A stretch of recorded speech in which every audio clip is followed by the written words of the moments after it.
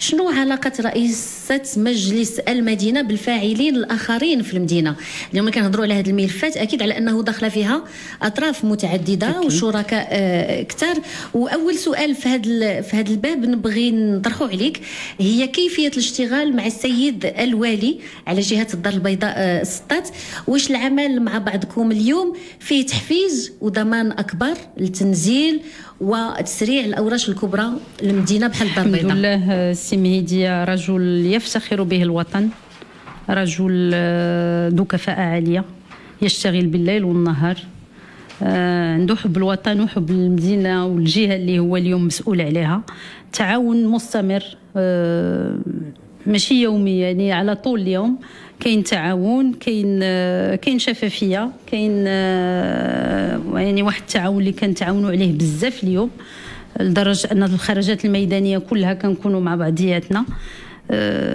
فكنظن على أن قيمة مضافة للدار البيضاء التواجد ديال السي مهدي عليها ومن هذا المنبر كنحييه. واش واش نقولوا من حسن حظ نبيل رميلي أنه صاحب الجلالة عين رجل دولة من طينة السي مهدية اللي معروف هو بالصرامة ديالو واش هذا الشيء بالتالي غي غيدفع يعني بهذا الركب هذا الإصلاح المدينة بأسرع ما يكون. لله العناية المولوية لصاحب الجلاله لمدينة الدار البيضاء وحب المدينة الدار البيضاء خلاه على أنه بالفعل يجيب ناس كفاء المدينة الدار البيضاء واليوم التواجد ديال السيد الوالي طبعا ما يمكننا إن نستبشروا خير لأن إن شاء الله منتخب في في يعني في المستوى.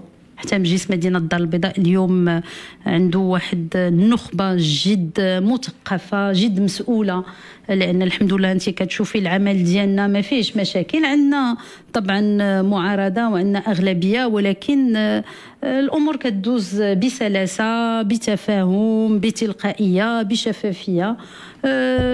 سلطة في يعني بالقيمة ديال السي والعناية المولوية ما يمكن إلا يعني ثلاثة ديال العناصر اللي غتخلي على أن مدينتنا غترقى وتزيد للامام إن شاء الله.